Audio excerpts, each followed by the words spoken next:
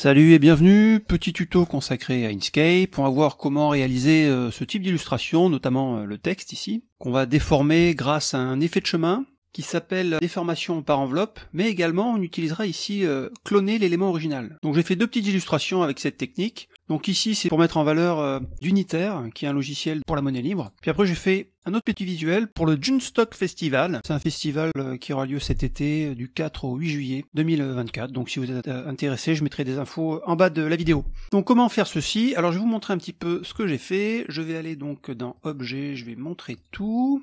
Donc ici, on a trois textes sur lesquels je vais appliquer deux effets de chemin, un effet de chemin cloné et un effet de chemin de déformation. Et l'avantage d'utiliser cela, c'est que maintenant, si je clique ici sur l'outil texte et que je modifie ici mon texte, je vais taper euh, monnaie, et juste en dessous, je vais taper libre, eh bien on s'aperçoit qu'automatiquement, dans mon visuel final, tout a été modifié, donc ça c'est très pratique. Et si je souhaite par exemple modifier ici euh, la déformation, eh bien je vais tout simplement afficher l'effet de chemin, hop, je vais donc sélectionner l'outil nœud. Je vais cliquer par exemple sur monnaie. Je vais sélectionner le chemin inférieur. Ici, je clique. Donc là, j'ai un petit losange. Je vais pouvoir le baisser par exemple à cet endroit-là. Je vais cliquer sur libre. Je vais cliquer ici. Je vais descendre comme ceci, et vous voyez que j'ai pu euh, modifier très facilement mon visuel. Alors comment faire ceci? Eh bien on va tout simplement aller dans Fichier nouveau, Affichage, on va choisir plein écran, on va importer notre modèle, Fichier, Importer, donc le modèle, comme d'habitude, sera à télécharger en bas de la vidéo. Voilà, le modèle est là. Donc je clique sur Ouvrir, Incorporer, OK. Donc avec l'outil euh, Sélection, là, je clique sur mon image, comme ça j'ai euh, les flèches de redimensionnement qui apparaissent. Je vais cliquer sur celle-là, et je vais appuyer sur CTRL et SHIFT, de façon à agrandir l'image par rapport à son centre, comme ceci. Je clique sur mon image avec le bouton gauche de ma souris, et je la place à cet endroit-là. Donc première chose à faire, c'est euh, donc le texte, mais avant je vais faire apparaître la fenêtre calque objet. Comme d'habitude, je renomme le calque 1 un modèle. J'appuie sur Entrée pour valider. Euh, je vais le verrouiller. Je vais diminuer un peu l'opacité, comme ceci. Maintenant, je vais cliquer sur le petit plus ici, de façon à créer un calque que je vais appeler Illus. Je clique sur Ajouter. Je vais cliquer ici sur l'outil texte. Je me mettre à peu près à cet endroit-là. Oui, c'est tout petit là. Euh, donc là, j'utilise la police Impact. Normal, épaisseur euh, plutôt taille de la police c'est 6, je vais plutôt mettre à 24 par exemple. Maintenant si je saisis euh, d'unitaire, je clique sur l'outil sélection, donc j'ai les flèches de redimensionnement, je clique ici sur cette flèche, j'appuie sur CTRL ce qui me permet de l'agrandir.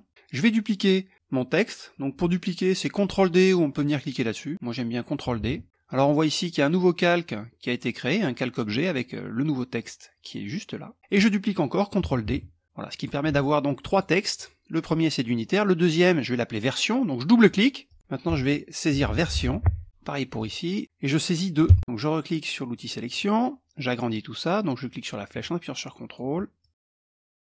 Et là si je souhaite mettre tout en majuscule, donc je clique sur d'unitaire, j'appuie sur Shift, je clique sur version, je vais dans chemin, je vais dans texte, modifier la casse, et je clique sur majuscule. Ce qui permet de changer automatiquement la casse de mon texte. Je vais renommer ces textes, donc le texte 1 c'était d'unitaire, le texte 2 c'était version, et le texte 3 c'est le 2. Voilà, ce qui permet de bien se repérer. Maintenant ce qu'on va faire, on va cloner chacun des trois textes, en utilisant pour cela l'outil plume, donc je fais un premier nœud, je fais un deuxième nœud ici, j'appuie sur entrée pour valider, donc ce qui me permet d'avoir ici une ligne. Alors moi je vais supprimer le fond, pour supprimer le fond je clique sur la croix, je vais mettre un contour rouge alors pour mettre un contour rouge, je peux faire un clic droit et je fais définir le contour. Voilà, l'épaisseur est à 1, je peux mettre par exemple à 2 pour que ça se voie un peu mieux. Là j'ai tout simplement une ligne, et sur cette ligne, je vais pouvoir appliquer l'effet de chemin. Je vais dans chemin, effet de chemin, je clique sur la petite flèche là, et je choisis cloner l'élément original. Et l'élément original, ça va être le texte d'unitaire. Donc je clique sur d'unitaire, je vais dans édition, copier, je clique sur ma ligne, et je vais cliquer ici pour lier à l'élément. Donc en cliquant là-dessus, automatiquement, alors il y a eu un petit bug d'affichage, automatiquement, vous voyez, j'ai le clone qui a été créé, je vais pouvoir placer ici. Je vais dupliquer encore cet objet, donc CTRL D, voilà, je le descends, je clique ici pour faire apparaître la fenêtre calquer objet, je duplique encore, CTRL D. Donc ici le clone unitaire est bon, là maintenant je vais faire le clone du texte version, donc je clique ici sur version, édition copier, je clique là-dessus, je clique ici pour aller dans la fenêtre effet de chemin, et je clique ici pour lier. Alors automatiquement le texte est déplacé ici, et on a un petit bug d'affichage ou plutôt de rafraîchissement. On a l'impression que c'est d'unitaire qui a encore été créé, mais c'est pas grave. Si je clique et que je le déplace et que je relâche le bouton gauche, automatiquement j'ai bien le texte version qui apparaît. Donc, maintenant je vais sélectionner le 2, édition copier, je clique ici sur d'unitaire et je lis également. Donc comme tout à l'heure, si je clique, je déplace, on a bien le 2 qui apparaît. Donc maintenant ce que je vais faire, je vais mettre un effet de chemin ici qui s'appelle déformation par enveloppe sur cet objet, je fais la même chose ici, déformation par enveloppe, et également pour le 2, déformation par enveloppe. Donc ici j'ai le modèle sur lequel je vais pouvoir me caler, donc je clique ici sur d'unitaire, je le place à cet endroit-là, j'agrandis ici en cliquant sur la flèche, je fais la même chose pour version, je le mets ici, j'agrandis, j'essaie d'aller euh, au coin qui est là, et le 2, c'est pareil, je le mets là, je vais l'agrandir comme ceci, et l'agrandir vers le haut. Et maintenant, tout simplement, donc je clique sur d'unitaire. Ce que je vais modifier, donc c'est le chemin supérieur de l'enveloppe, donc je clique là-dessus. Vous voyez, j'ai un petit losange qui apparaît, je vais pouvoir le déplacer ici, le déplacer l'autre à cet endroit-là. Je clique maintenant ici, je déplace ce petit curseur à cet endroit-là, celui-là ici. Je fais la même chose ici, je clique, je déplace. Vous voyez, c'est très simple, on déplace les petits losanges, et on clique là-dessus. Alors là, vous voyez, j'ai une petite vague. Alors ça peut être intéressant des fois d'avoir ce type d'effet, mais moi je veux pas ça. Alors ce qu'on va faire, on va décocher ici. Par contre, je vais faire le petit arrondi, donc pour cela, je vais cliquer ici sur chemin inférieur de l'enveloppe. Ici, on voit une petite ligne verte qui apparaît. Je me mets bien au, milieu de la ligne verte, vous voyez. Le curseur change. Je clique dessus et je déplace vers le haut, tout simplement. Donc je clique sur version maintenant. Pareil, je vais cliquer là-dessus. Maintenant, on va pouvoir faire la petite déformation. Je clique au milieu de la ligne verte, je clique, je glisse, comme ceci, je vais en bas, je clique, je glisse. Et faire la même chose pour le 2.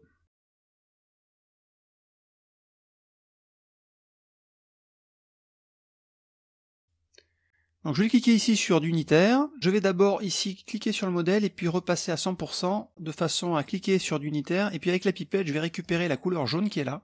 Je vais maintenant cliquer sur l'outil dégradé ici. Donc je vais choisir un dégradé radial qui va s'appliquer sur le fond. Et je vais double-cliquer sur le texte d'unitaire. Donc j'ai mon dégradé radial euh, qui apparaît. Je vais cliquer ici sur le petit cercle qui va devenir bleu. Je clique sur l'outil pipette et je vais récupérer la couleur verte ici.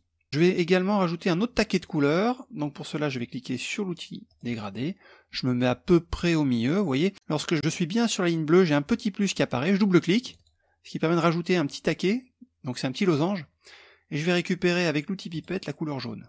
Voilà, c'est ce que je veux. Donc avec l'outil dégradé, je peux venir déplacer, éventuellement jouer sur les poignets, voilà, comme ceci. En appuyant sur CTRL SHIFT, vous voyez, je peux augmenter les deux poignets en même temps. Et cette couleur, je vais l'appliquer sur version, donc je vais ici dans édition, copier, je clique sur version, édition, coller, et je fais coller le style.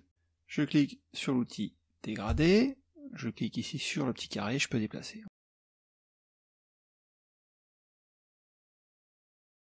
Ici, je vais mettre un dégradé sur le 2, donc je vais euh, sélectionner le 2, je clique ici sur dégradé, je clique, je glisse. Alors là, je veux pas un dégradé radial, je veux un dégradé linéaire, je clique, je glisse, j'ai le rouge, et je peux, comme ça avec la pipette, récupérer le jaune orangé.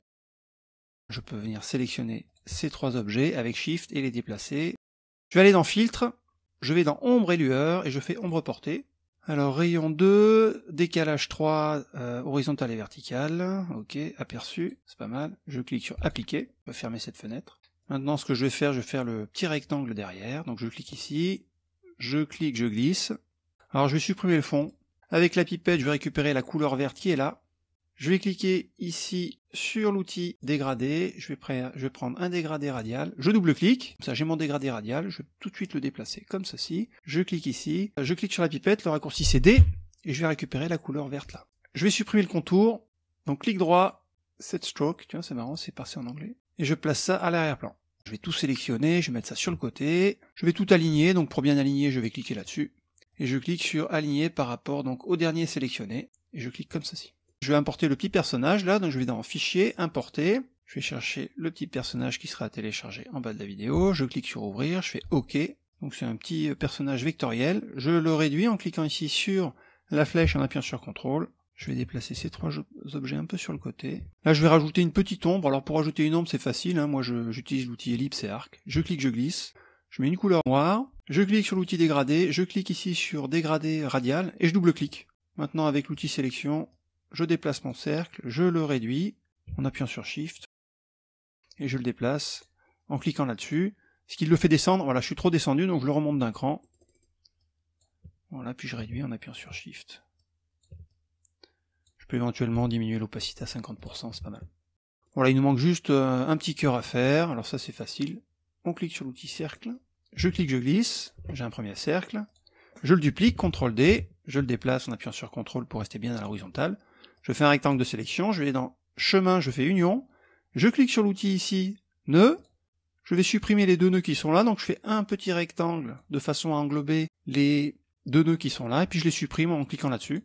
Ici, je veux supprimer les poignées. Pour supprimer les poignées, il faut appuyer sur CTRL et sur la poignée, donc j'appuie sur CTRL et sur la poignée, là. Maintenant, je vais déplacer le petit losange vers le bas, sur lequel je vais mettre une couleur rouge, à 100%, vous voyez là je suis à 50, je fais un clic droit, je mets à 100%, et je réduis. Euh, je vais dupliquer, CTRL D, je déplace, je réduis. Voilà pour ce petit tuto, euh, j'espère qu'il vous sera utile. N'hésitez pas à poser des questions, et je vous dis à bientôt pour de nouveaux tutos.